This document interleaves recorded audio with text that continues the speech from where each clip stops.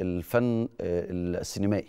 الفترة اللي فاتت سمعنا عن فيلم قرن وستة أعوام وده فيلم مصري من الأفلام القصيرة من إخراج وتأليف محمد ناصف وبتدور قصته حوالين القضية الفلسطينية وده بدون أي ترتيب. يعني الفيلم منتج ودخل مهرجانات قبل ما تحصل الأحداث الجارية في قطاع غزة. الفيلم ده تم الهجوم الشديد عليه جدا من الإعلام والصحف الإسرائيلية فجأة لأنه تقريبا بيمس الاحتلال وعدوانه الغاشم على قطاع غزة. وده طبعا نظرا لأنه مبني على اللقاء التخيلي اللي دار ما بين هتلر وهو الحوار دار ما بين هتلر ومفتي القدس في سنة 1941 لكن بيدور حوالين قصة خيالية من نسج المؤلف والمخرج في لقاء يدور ما بين حفيد هتلر وما بين حفيد الحسيني وهو كان زعيم اللي حصل اللقاء بينه وبين هتلر في الفترة اللي إحنا قلناها على 1941 عن الوعد الحق وما يدور داخل الأراضي الفلسطينية والقضية الفلسطينية. إحنا معانا مخرج ومؤلف الفيلم الأستاذ محمد ناصف على التليفون. أستاذ محمد أهلا بيك معانا يا فندم. أهلا بحضرتك ازي حضرتك؟ ألف مبروك الأول على الجائزة الجايزتين ال... ال... آه هم ثلاث جوائز. ثلاثة آه أنا آسف. آه جائزة لجنة تحكيم وأفضل ممثل آه. في عمان و... وجائزة والجائزة اللي هي الرق الفضي في مهرجان تونس أيام السينما أيام الكيروان السينمائية. تمام.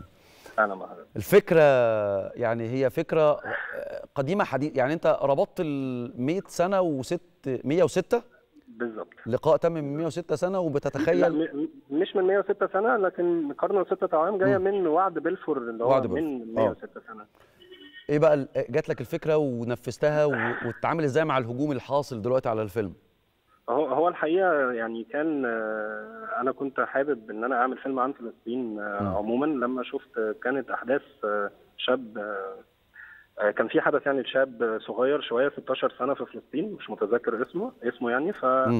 آه، ده اللي هو آه، وجه مسدس أو آه، زي سلاح على آه، يهود يعني في كنيسة في فلسطين. وماتوا اتقتلوا يعني فلما قرأت عن الشاب لقيت الشاب مش مش مقاوم ولا تابع لأي جماعة أو أو مقاومين أو كده. ف فهنا جات لي فكرة الفيلم اللي هو أنا لازم أعمل فكرة عن آه، جينات أو ال- آه، الجيل الجديد من الفلسطينيين الفلسطينيين والاحتلال في نفس الوقت. ف... فالفيلم تحت يعني ما بين في سلوجان كده للفيلم اللي هو الحجارة أصبحت موضة قديمة. فما مم. بقتش الحجارة هي ال- الهدف الأساسي لأي مقاوم دلوقتي. فبحثت عن آه، تاريخ فلسطين كله.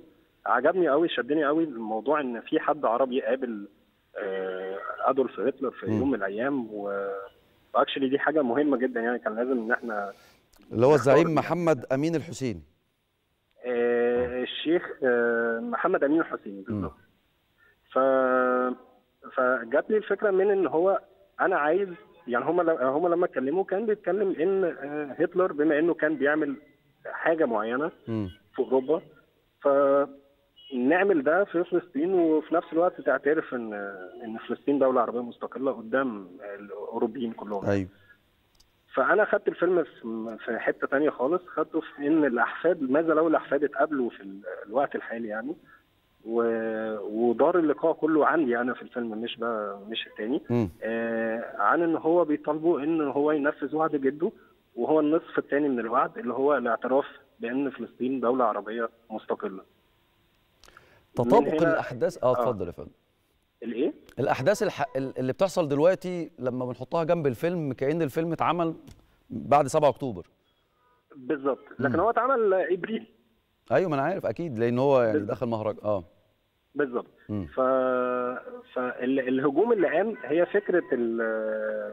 ال- الشيخ محمد أمين الحسيني وهتلر طبعا هتلر يعني اسمه أصلا آه، بالنسبة لهم يعمل مشكلة كبيرة أكيد فهم آه فهم ما شافوش ال poster أو. ما شافوش قصدي الفيلم هم شافوا ال poster وشافوا ال trailer بتاع الفيلم. آه وقام قام بقى هجوم فظيع وبدأوا بقى يدعوا حاجات وبدأوا يقولوا ان إن إحنا بنقول في الفيلم إن أنتوا بتعملوا في الفلسطينيين آه زي ما هتلر عمل زمان يعني. في في آه، هناك في أوروبا فالفيلم ما بيقولش كده تماما والفيلم ملوش دعوة بأي ديانة وأنا صرحت قبل كده في قناة يعني ال- الفيلم ملوش دعوة باليهود تماما وإحنا لينا أصدقاء ومعارف يهود مصريين في مكان تاني في أي مكان تاني. ممكن يكون ما بيعترفوش كمان بدولة إسرائيل. هم ضد ال- الحرب.